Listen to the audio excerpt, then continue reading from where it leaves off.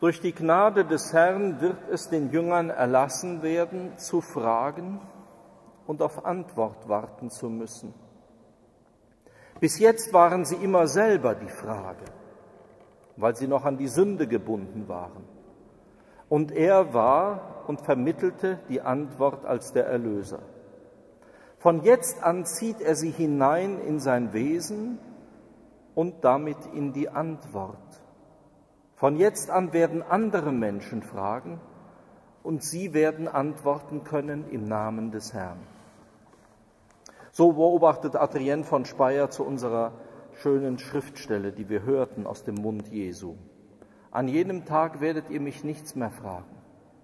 Wenn es zu dieser Begegnung kommt zwischen den Jüngern und dem Herrn, das ist nicht eines fernen Tages, sondern es ist schon jetzt.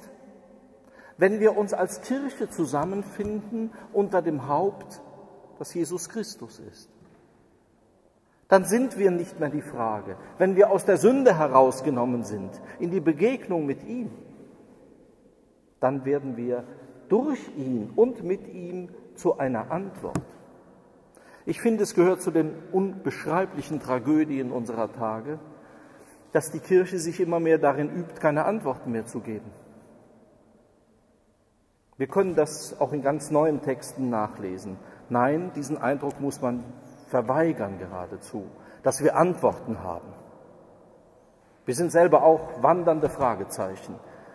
Kein Wunder, wenn keiner mehr zu uns kommt, weil Fragezeichen gibt es in dieser Welt genug.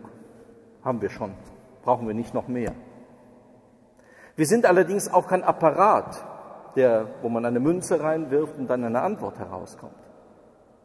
Wir sind nur selber zur Antwort geworden, wenn wir in eine geradezu verschmelzende Verbindung mit Christus kommen, wie das in jeder Eucharistiefeier geschieht.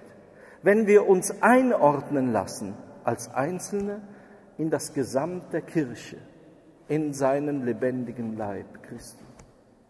Denn so existiert er hier und heute in dieser Welt.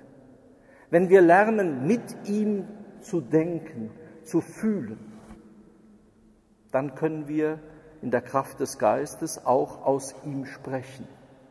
Und zwar keine neuen Fragen formulieren, keine zuckenden Schultern und zu sagen, wissen wir auch nicht.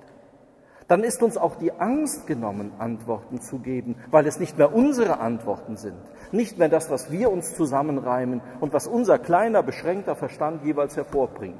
Das gilt für alle einzelnen Glieder der Kirche, ob sie ein, ein Amt, ein hohes Amt haben oder lediglich in Anführungszeichen nur getauft sind. Antworten geben kann man nur, wenn man in der Verbindung mit Christus ist. Und wenn wir uns als Kirche nicht mehr trauen, Antwort zu geben, dann müssen wir uns fragen, ob diese Verbindung zu Christus in Ordnung ist.